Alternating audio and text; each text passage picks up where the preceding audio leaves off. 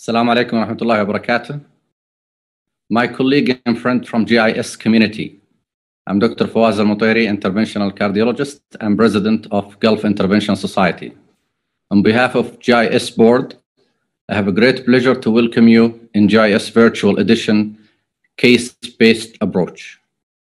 Over the past several months, all the current physical activity have been impacted by the pandemic. And due to this, the Gulf Intervention Society has continued its mission and education to assist all interventionists and cardiologists in the Gulf and Middle East, Middle East area through the series of successful virtual events. Successfully, we accomplished during 2020 more than 24 webinars, more than 2,000 educational minutes, more than 100 speakers.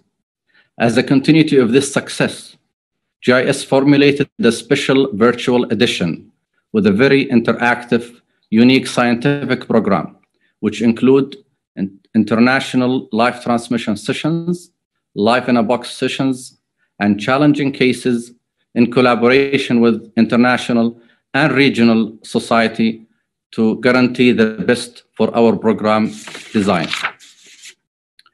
Unfortunately, the pandemic is not over yet, and we will be able to win, inshallah, until we can safely reinstate our in-person event.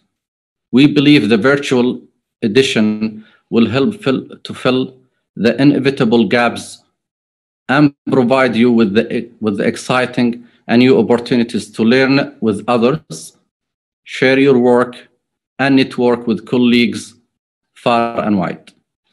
I would like to thank the board of GIS and the scientific committee uh, headed by Dr. Waqar Ahmed for their support and effort done over the past period for the successful of our society.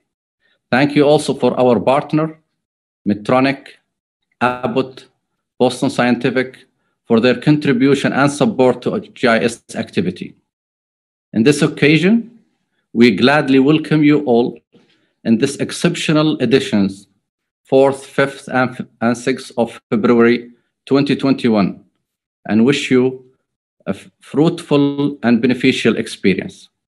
Thank you very much for joining us today and welcome you to all our sessions for today. And from this, we'll welcome you to the first session uh, moderated by Dr. Waqar Ahmed.